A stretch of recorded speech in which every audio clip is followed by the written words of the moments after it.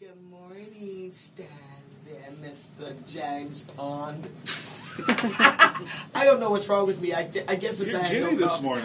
I am. Why are you giddy? Well, it's I know. exciting. She's going to be on national TV. I'm And, so- and you're going to be on local TV today, too, right? Yes, I am. I'm going to be on Channel 7. Oh, that's good. What time do you know? Uh, my interview is at 10, so It's I, probably going to be noontime.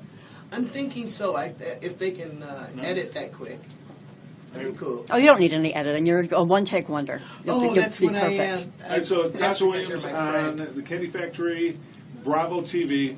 Okay, you're, you're videotaping this, so I'll wave to Tasha. Hi, Tasha. You Tasha. better not, and you know erasing. Okay, I won't erase this one. No delete.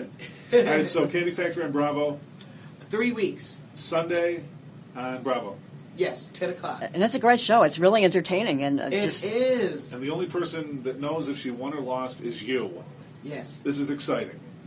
You know, and I do you feel that it's gotten better as it gone along? Definitely. Yeah. I like Uh-huh. that I show. have too. I do too. I do too. What do you think, Cricket? You like it? I do. I like Let it a see lot. Your camera from out.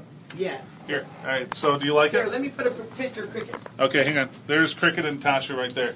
Say hi. Hi. yes, I, I love the Kandi Factory. And there's there's Tasha. Hi, Tasha. Hi. Okay. and apparently they're they're saving the uh, best for last. Yes, they are. I believe. And that Uh, would that's be- what I'm feeling. I and mean, I'm last, man. And that would be Miss Tasha Williams representing the 315 in Felts Mills, New York. Yeah, three one five, baby.